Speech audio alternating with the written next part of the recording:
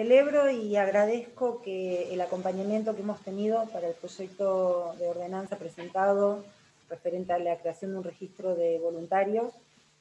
Eh, realmente creo que es necesario darle un marco de regulación a algo que naturalmente está surgiendo en muchos ciudadanos de nuestro distrito, especialmente en gente joven, que siente la necesidad de acompañar y de asistir a todas aquellas personas que se encuentran aisladas por el motivo que fuere. Sabemos que desde el Departamento Ejecutivo ya se está trabajando en la, para poder realizar rápidamente la implementación de este proyecto, así que, bueno, eh, si todo va bien, en pocos días lo podríamos estar poniendo en marcha. Creo que estoy convencida, estamos convencidos de que este es el camino que debemos seguir no solo nosotros como representantes del pueblo, sino cada uno de los ciudadanos de nuestro país, de nuestro distrito, especialmente en estos momentos en los que estamos viviendo. Seguir el camino de, acompañar, el camino de, la empatía, de la que tanto hablamos últimamente, de la responsabilidad, de ponernos a disposición del otro. Eh, a cualquiera nos puede tocar tener que estar aislado preventivamente,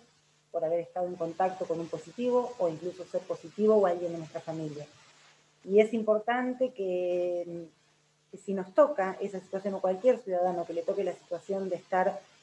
infectado o de tener que hacer un aislamiento preventivo, lo cumpla y cumpla con todos los protocolos que se recomiendan desde el área de salud, que son los profesionales, son los que saben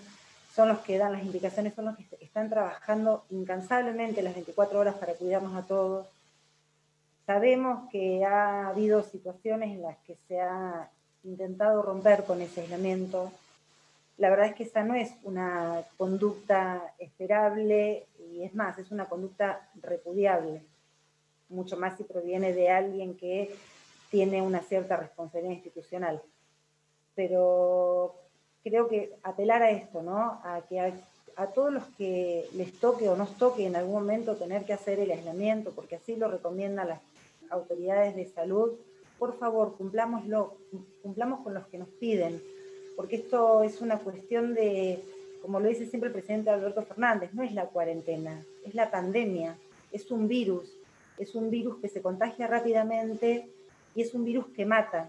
Gracias a Dios en nuestro distrito todas las personas que están infectadas, las 49 que van hasta el momento, lo están pudiendo llevar de buena manera, no hemos tenido complicaciones y ojalá así sigamos y ojalá superemos esto, pero como siempre lo decimos, cada día más convencidos, la única manera es apelando la responsabilidad de cada uno